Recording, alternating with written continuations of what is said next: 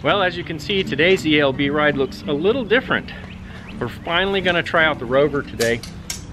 And I think what we're gonna do is we're gonna go out to Jamestown Island and do the Jamestown Loop. We're gonna start at the Jamestown Settlement and then do the loop.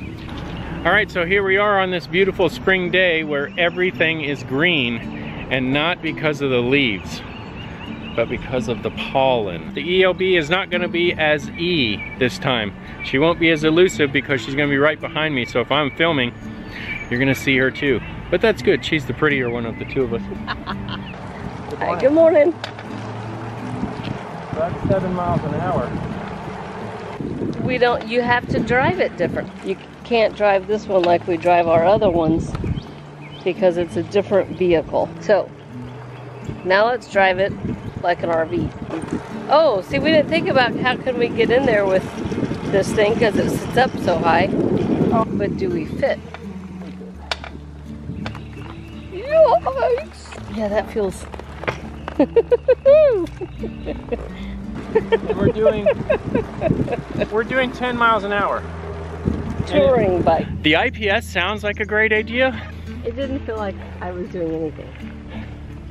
Even if even if I was pedaling, it didn't feel like I was doing anything. There was only once or twice that I could feel myself actually contributing to the motion of the bike. The rest of the time it was kind of freewheeling, which made it very, it's hard to pedal when you're not doing anything. Well, or when you feel like it, because the thing is, is when she was pedaling and she was not feeling like she was contributing, I could tell that she was pedaling and she was contributing. So some of it might be just we're gonna have to figure out. Have to learn it. The tandem experience yeah. is totally different than what I expected. Is it, is it? You, you expected it to be the same as your other one and just with two of us and it's a totally different vehicle. I may have to put the uh, 20 inch wheel back on it and see if that makes a difference. I don't know if putting the 24 inch wheel on there makes that much of a difference because it also changes the frame geometry a little bit which might be some of the issue um, for making the steering feel really heavy because the geometry's changed. I didn't even think about that. You can see it, well, I don't know how well you can see it on camera, but I can see it. The back end is up just that extra couple of inches. You can see how the front, you can see how the front over here looks a little bit closer to the ground than the rear of the trike over here. So that may be contributing to the heavy steering as well. Yeah, I didn't even think about changing the frame geometry by putting a bigger wheel on it. We'd never ridden anything like this before at all. no kind of social tandem bike, side by side, delta, any kind of tandem bike before. So this is a completely new experience for us. So this is my view the whole ride. I don't know. And I know that my pedaling is helping, but it's a different return on investment think I like being independent too much. I think I like riding beside you rather than behind you. If I want to go sideways over here, I can't. If I, you know, I just, and I can't really see what's coming in front of me. I can't really see what's coming behind me. The other thing is, is I think because a little bit of, of the steering that's different, is it's hard for me to ride with one hand.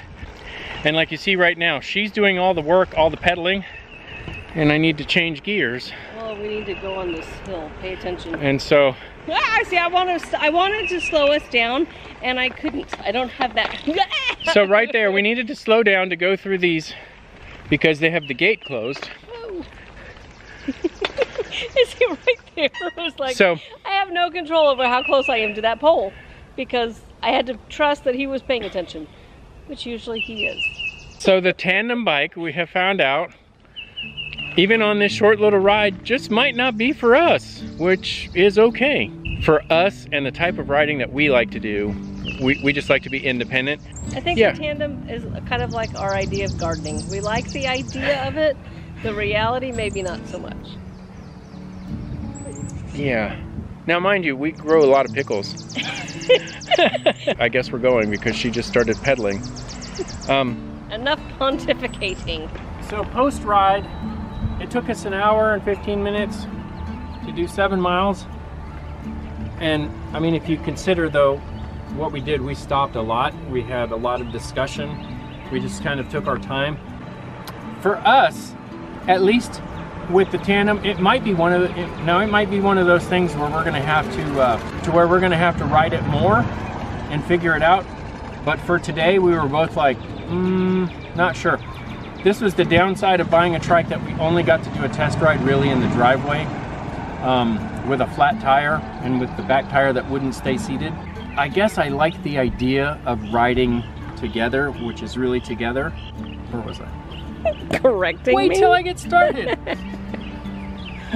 where, where was I? Woo! Good thing we can edit.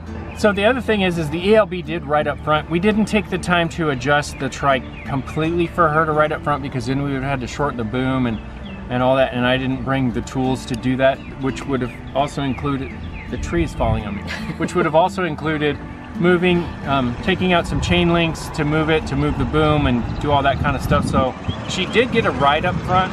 It's just, it's just different. That's the whole thing. The biggest thing about this is it's different. And sometimes different is good. And sometimes different makes us like what we've got. It was something I always wanted to try, and I'm I'm glad we did it, but I'm just not sure it's for us right now. Maybe when the ELB can't walk anymore. So we'll see what happens with it. But until next time, cheers. Ride you ride.